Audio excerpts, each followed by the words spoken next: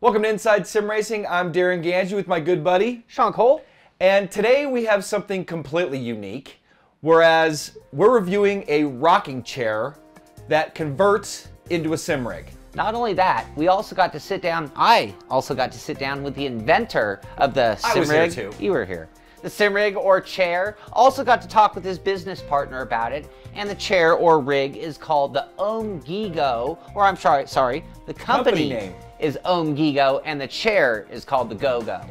And normally at this point we'd go over all the, you know, specs, tell you all about it, but instead of doing that, I'm gonna hand it over to my good buddy Shaun, who, as we mentioned, got to sit with Colin James, who's the brains or the inventor behind the Go-Go. And let's hear what he had to say. All right, well, Colin, thank you very much for coming to our studio No problem. Thank you for having us. and bringing this very interesting sim rig chair. And uh, why don't we start off? Why don't you kind of, how did this come to, to be? I mean, what started the idea for you? Honestly, uh, Gran Turismo. Uh, I'm a Gran Turismo fan from all the way back to the PlayStation 1 and uh, uh, built, you know, years and years ago, built a little plywood rig and stuff for, for racing. And uh, I thought everybody should have the ability to sit in one in their house, race properly instead of having to attach to a coffee table or something like that. But not everybody wants to have a, a sim rig in their living room. So, Right. uh, I wanted to try to give everybody a little bit of both. Uh, something that is a piece of furniture in their home when it should be a piece of furniture, and a racing rig when they want to race. Okay, and I mean, most sim rigs kind of come out of a similar mold, or I mean, Sure. they all kind of start off the same way. This is a completely different direction. Was it just to have furniture? Was there more to it than that? Uh, it's it's both. It's like I said, most people don't want to have their entire you know six foot by two foot taken up in their living room. Everybody comes over and is, what is that? Um, I, I thought it'd be nice to have something to hide away.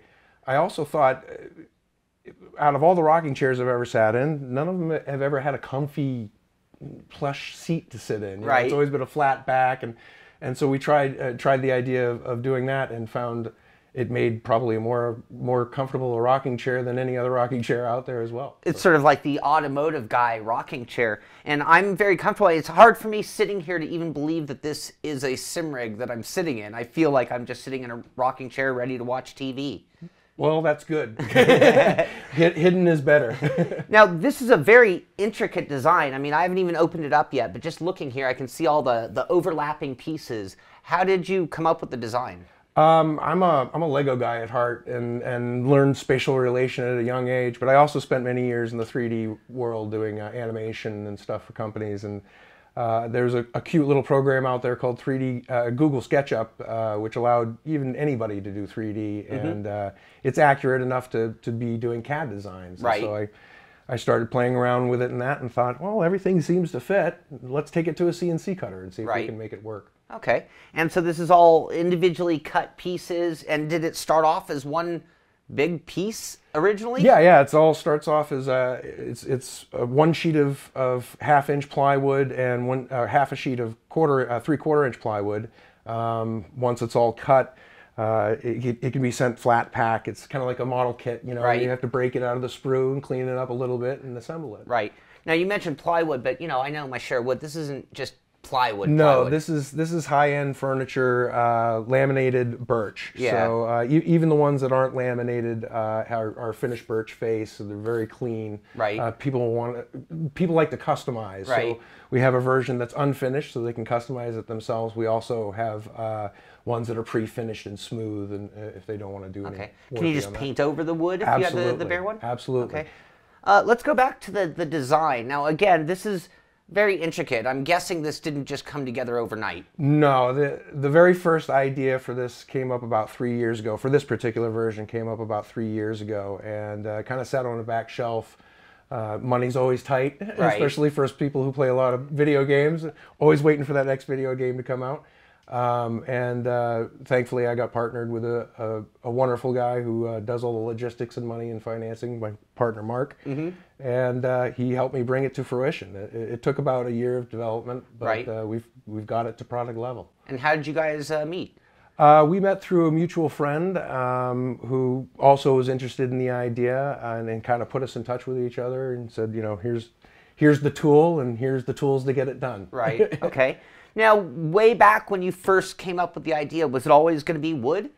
I, yeah, kind of. I, I'm a big fan. Unfortunately, one of the only things that we still manufacture in North America is wood. um, I could get plastic injection, but you're, you know, I want a product that if, if they ever decide to get rid of it, it's not going to be environmentally impact on the other end. Right. You know, injection molding systems and stuff like that get thrown into landfills all the time. Even if this was to throw in a landfill, it'd be gone in a Right. months.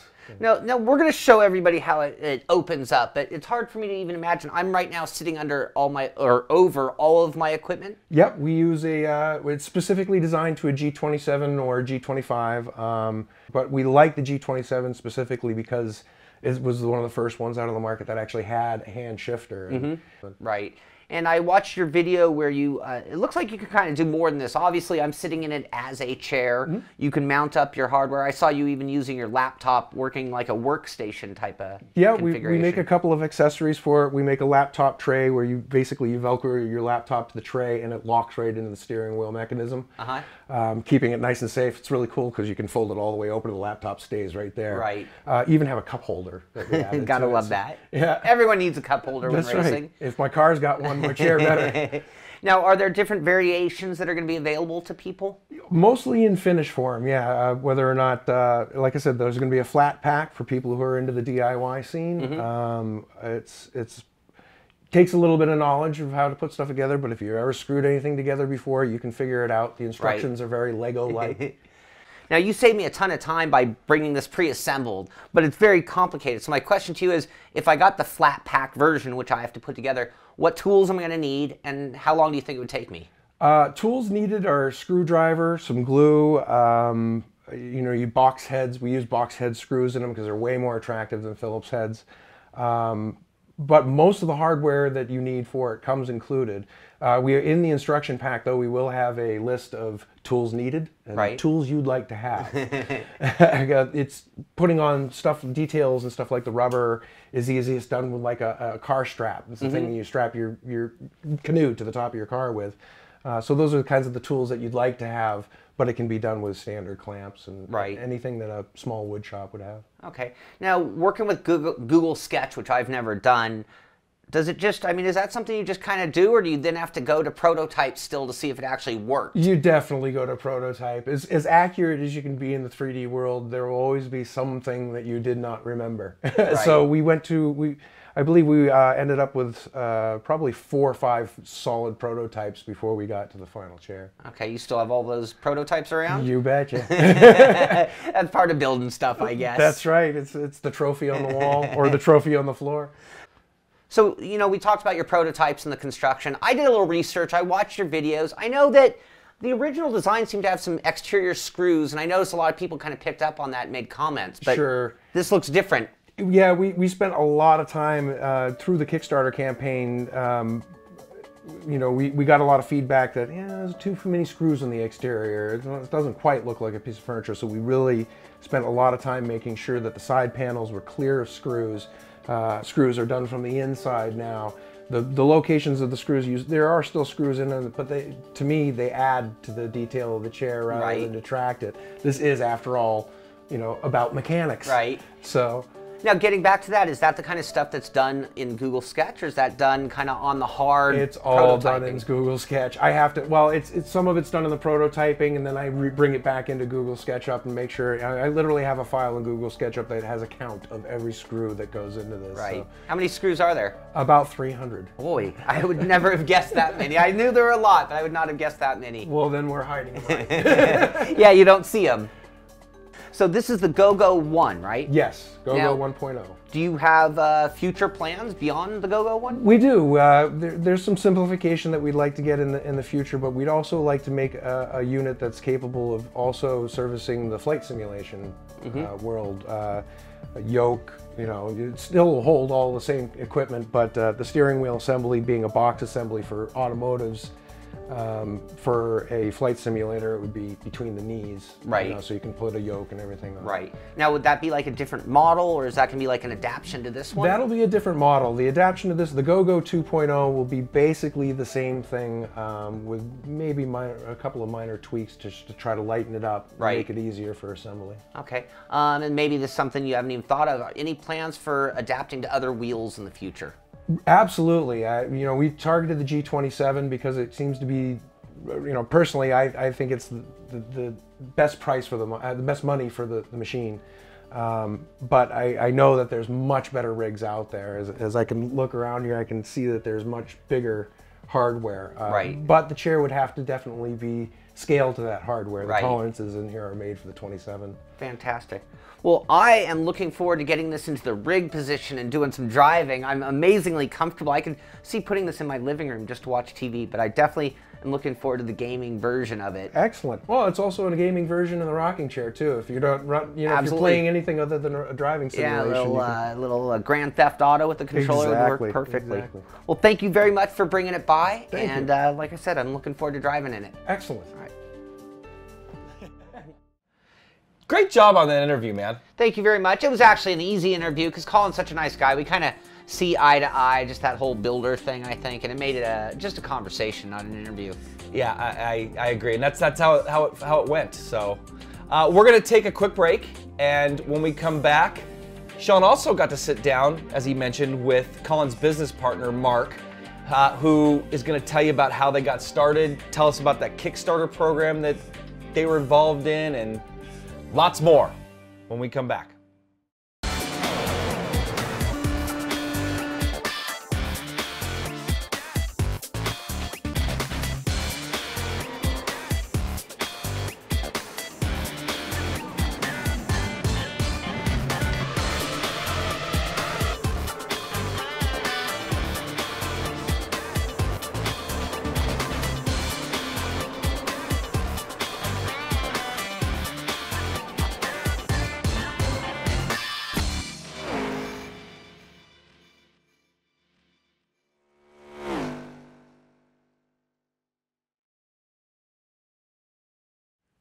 Well, Marc, thank you for joining me as well. I talked to Colin a little bit about the construction of this, but I want to talk to you a little bit more about the company, OMGIGHO, and how did the name? Let's let's start with the name. It's hard to get going without talking about the name. Sure. A lot of people ask that question. Um, so OMGIGHO is an acronym. It stands for Oh my God, I gotta have one. Okay. And actually, if you can think that through your mind and spell it that way, um, that's how you can spell it. Right. That's where I came from. Okay, that's pretty clever. Yeah. And uh, I'd say I have to have one as well.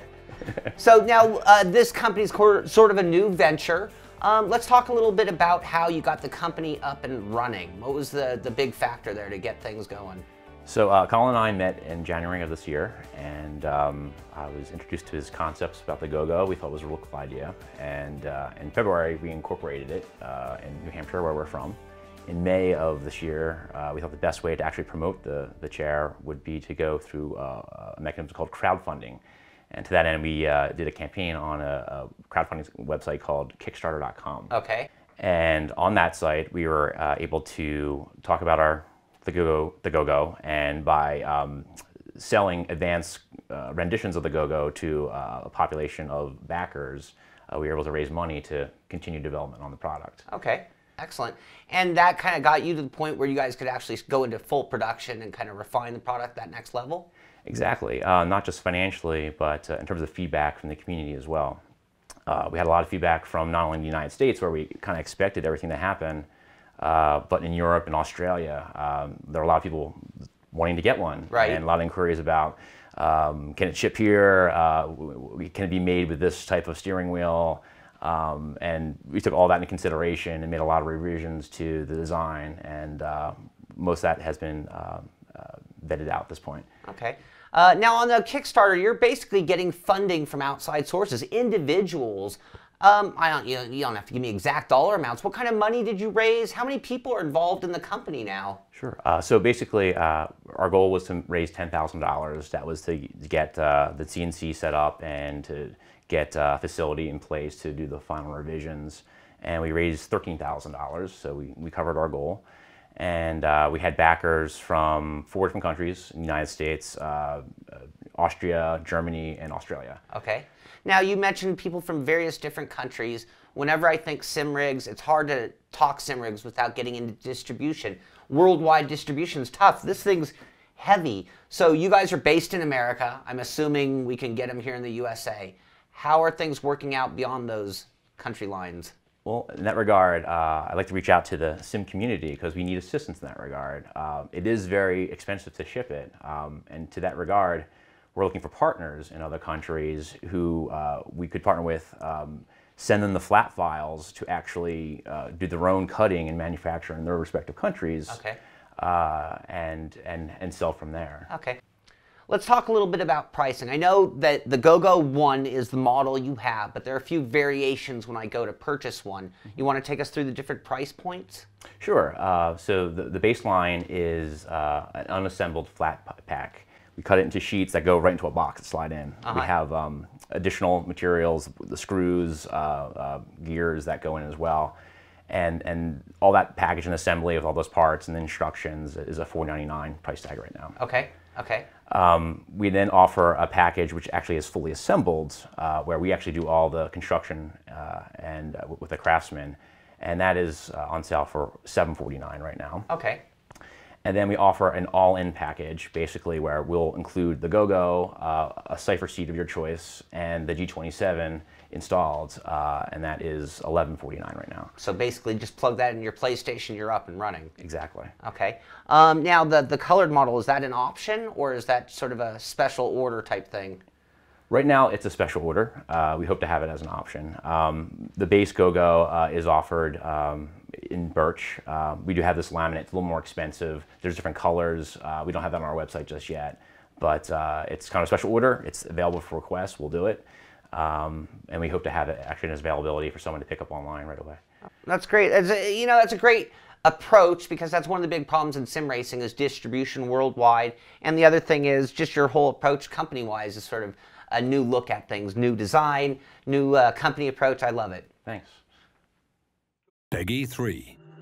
What makes a driver a champion? Determination, speed, courage. There are many drivers with these qualities, but they're not always enough to make a champion. A champion needs something more. When you push yourself to the limits, there is only one thing that can really make the difference control.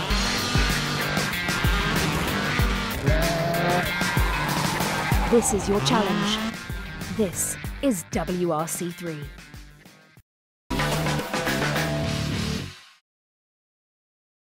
Another great interview there, my friend. Thank you again. So, got to find out about the pricing, how this all came together. Really cool, really cool stuff. Mm-hmm.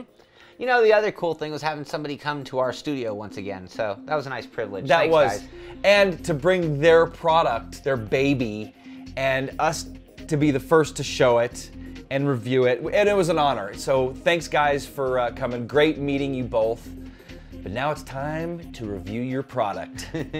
so uh, that's going to lead us to pretty much the pros and cons. Like Yeah. you know, like we said, the best way to describe you know what we thought is just to go into the pros and cons.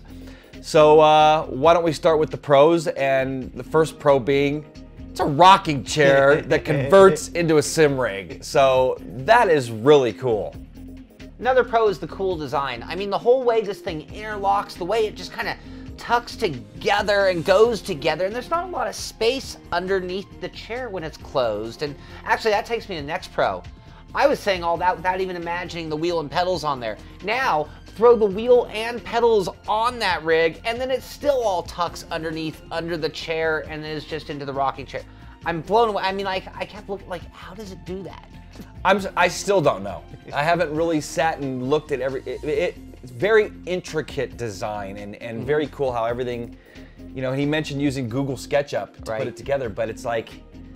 I, I- maybe your mind works this way, but mine doesn't. I mean, where do you start? I, that my mind doesn't work that way. Yeah, I mean, so props to you, Colin, for just coming up with the idea and putting it into Google SketchUp and Yeah. coming out with your, you know. Speaking of which, where is the Go Go? You know, I was wondering that. Normally we have the rig here with us. Where is the Go Go? Is a good question. I know where the Go Go is. I was kidding. It's at my place because kind of took it over, put it in the man cave at my house. That thing, like, they left, and then so did you and the Go-Go. We put it in the back of your truck. but it was that quick. Yeah, I call. I'm like Shaun. I think we should review the Go-Go at my place just because. So anyway, But that kind of points out where is it? It's in your man cave. Yep. I mean, that's where it belongs. Yep. Next Pro, it can convert into a laptop station. So there's a, an extra attachment that you could purchase and convert it. You know, you have to take your wheel deck off and stuff. Right. But convert it into a nice laptop station. Yeah, Has a cup holder as well. you gotta like that. yep. For long races. Yep.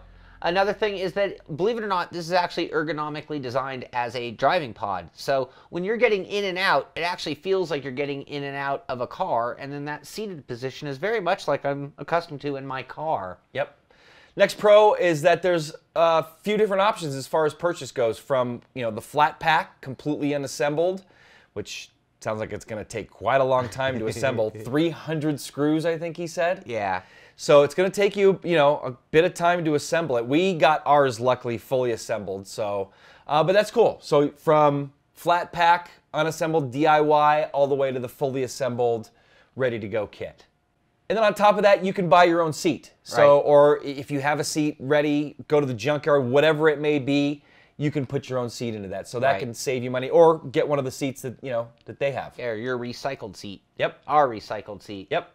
Another pro on this one, and we talked about it before, because sim rigs are girlfriend killers. This is going to be girlfriend or wife proved, or at least you're going to have a better chance. Yeah, I'm a little worried about you mentioning killing girlfriends. I think what he meant by that is that you could blow your chances of having a girlfriend if, let's say, you bring one over on a first date and she sees, "What the heck is that?" How do you explain that? Yeah, how do you explain that to a new girlfriend? It's So- the girlfriend deal breaker. I think that's There you go. phrase gone wrong. Yeah, yeah, that's much better put. So, yeah, this is not a girlfriend deal breaker because she'll honestly have no idea what it is Yeah. in the rocking chair. Yeah, it just looks like a cool sports chair. And to add to that, my fiance Andrea loves the Go Go, and when I after I brought it home, she's like, "This is staying here, right?" And I'm like, "Yeah, it's, it's stay, staying in the man cave." Absolutely. So uh, yeah, it, it's definitely friendly for that. Uh, the next Pro, it's comfortable and adjustable as a rocking chair. Yeah. So I, I like sitting in it and and all the different, you know, you know what it's only missing? Huh. Oh, like a re- recline mode? The, well, and the Oh, with the foot. Yeah, because it does recline. It Yes. just doesn't have the foot kick out part. But I saw one time you slid the seat all the way back, and you kind of put your heels up, and then you know, it kind of made me feel like a little kid. But you know, if I was going to be playing a little uh, normal uh, hockey, for example, gaming, I got that from Colin in his video. he does exactly Okay. that. So that's that's where I learned that. I'm like, I gotta try that. yeah, it does that. Yep. And the last pro is actually something that that I we've watched experience over and over again. It's the wow factor because just in rocking chair, it doesn't look like a normal rocking chair. It looks like it does something, and then when you open it up into that rig, people's jaws hit the floor. Or vice versa. You got Yeah. it sitting out as a sim rig, and people are like, "Oh wow!" I mean, it actually looks kind of big for a sim rig. It- Yeah. it is. But then you're like, "But here, look at this picture." Or wait a second, let me convert it into a rocking chair. They're like, "Whoa!" Yeah. That is really cool. So yeah, the wow factor is just through the roof. through the thing. roof. So that's going to do it for the pros. Now let's move on to the cons. And the first one is with this design, it allows for actually a bit of wheel deck wobble. So it's a little bit of left and right wobble, and it can kind of pull at you as well. Yeah, it can pull. We talked to them. They're maybe going to look into doing some kind of interlocking design once you push that wheel forward and, and putting some pins through it or something. But right now, if you're under some load, that's definitely one of the cons. The, the whole wheel deck can come towards you. And it, honestly, we've talked about wheel deck wobble before, and there's the kind where it starts going and never stops. And then there's the kind that kind of just goes with the flow. Right. This is the go with the flow type. Honestly, I didn't see uh, let's back up a little bit. When we were all sitting here, we told the guys too. So Colin and, and Marc are no strangers to what we're talking about. Uh, we talked about the wheel deck wobble, but just sitting in the rig, not driving. and Right. You doing the saw imitation. Um, I got home, started driving in it, and I didn't notice Right. the wheel deck wobble at all, to be honest. And I was wheeling, I was doing some snow rally and some different stuff. And you saw and you saw it Yeah. sitting behind me, like, oh, that deck's wobbling. And I'm like, oh, it is? Yeah, you were completely surprised. Yeah, so it's that go with the flow wobble. It does have it, it's inherent in the design, but man, how are you not gonna make it wobble and then tuck all together like that? Exactly. That many hinge point. Okay, the next con only made for the Logitech G27 or G25 wheels. Actually, you can plug in a DFGT. I would guess you can fit a Thrustmaster F430 or even the Fanatec Porsche wheels or the CSR, but any bigger than that, no way. It's not Right. gonna fit. And even though the DFGT, you're not gonna be able to bolt it down. Right. So unless you velcroed it in or whatever. So bottom line is this it's a con, the, one of the cons is it's only made for the G27 or G25. But that is probably the most sold wheel out there. So Absolutely. Another con, and this is something in the eye of the beholder, but it could take a long time to assemble. Uh, Colin mentioned, God, what did he say, 40 hours? Did I he think say so. 40 I would guess. Yeah. It would take a week to assemble that with all those pieces. This is a major jigsaw puzzle that you're going to be putting together. More intricate than a jigsaw puzzle because not only is it all interlocked, but then you got connecting pieces. Well, and this comes flat packed. Right. So I don't know how much you're punching the pieces out. all of them. Yeah. little tabs. You got to pop them out like that. Yeah. So that's going to be kind of cool, but it's going to take a long time. Yep. And next con is it comes unfinished. So I would have liked to have seen a painted option. Uh-huh. They do have an option where there's a laminate, which is the one we got in black, and they're gonna have multiple color options there too. But I would have liked to seen just a painted version. Right. You know, an all black or all white or Yeah. whatever, and comes painted. Yeah. Um, you know, I don't know how much. There's a lot of pieces to paint though, so Well, if you get the flat pack, you're going to paint yours probably. I mean, or somebody bought will. it. And what's nice is it's going to be in sheet size, so you can kind of just roll over the whole sheet before you pop them out and not do all, you know, do it as one piece. yep. But what about the edges? Well, like ours was unfinished on the edges, so I think that. I want my looks edges finished. Oh, okay. Well, then you're gonna. Honestly, that's another con for me. Yeah? I, I would have liked the edges finished, to be honest, Okay. because I think it just. I mean, it, I guess it adds to the design. Right. But I honestly, because they have some of the areas filled with the white. Mm-hmm. You know, so it's a white laminate with the black. Right. But then some, it's just still the bare bones. right. So I, I think kind of in limbo there. yeah, so I, I that's a nitpicky con. I wouldn't even really say. And the last con, it's made of wood, so that could either be a con or a pro. Colin mentioned that it's environmentally friendly, so when you're done with it, you're gonna. I don't know who would be throwing their rig into a landfill because usually they just get handed down to the next guy. Yeah. But he's got a good point. You know, when it's all said and done, you can put it in your fireplace and burn it. Yeah, you could do that. Um, so, but now the con to the wood being, I think there might be some flex or maybe even some wear Right. on some of those joints over time. right. So that could be a con. But again, I don't, I don't know if that's truly a con because I haven't put that many hours into it. Right. At least to get to that point. So that's about it for the pros and cons list, and that gets us to the rev scale. So why don't you take the honors this time? Sounds good since I'm the one that stole the rig. Um, you know what? For the unique design, I mean, this is the first rocking chair that's converted into a sim rig that we've got. So, that being said, for that in itself, a 9 out of 10. Now, for if you're big time into, into Gran Turismo, I'd say this rig's an 8. If you're a hardcore sim racer like us and you're looking to have something like this, I'd say it's more like a 7 because it's really not meant for first of all for anything but a G25 or Right. G27.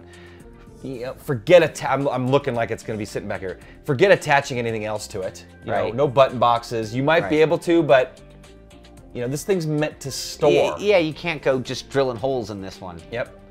So, do you agree with that assessment on the revs? I completely do. I think the the main thing here for me, or should I move into final thoughts? Yeah. I guess this is probably not the type of rig that we would normally do on our show. This is a gaming chair for a man cave that works as a sim rig. Works really well as a sim rig, but you know normally we're working with more of the traditional hardcore sim rigs and things like that. So I think it's definitely a step in a different direction, not only for them as a company, but for us as a review site. So taking that into consideration, I completely agree. Um, and I, I mean, and you took it and put it in your man cave, and I think that's where it really belongs. You know, it's like you have your your 46 inch TV, you got your rocking chair, you could be playing some Grand Theft Auto or some hockey. Flip it out and be playing some Gran Turismo, and and that's awesome, and nothing else like it. Yeah, and that's honestly why I love it, and it's gonna stay in my man cave because it's perfect for that. Mm-hmm. For somebody like me that wants an extra rig for friends that come over or wants to convert it in for console racing, I don't Right. want to race on a console on my super rig. First Right. of all, because I have triple screens and I'm running on that middle 22. Yeah. And like you said, I got it hooked up. It was a 42 actually, and I used that new R seat stand and pulled it right up. And man, you had fun racing in that Oh, yeah. thing, didn't you? Oh, set yeah. up like that. It looks cool Uh-huh. set up like that. Yeah. So, yeah, I, I really like it. My fiance loves it. She, you know, she doesn't want it going anywhere.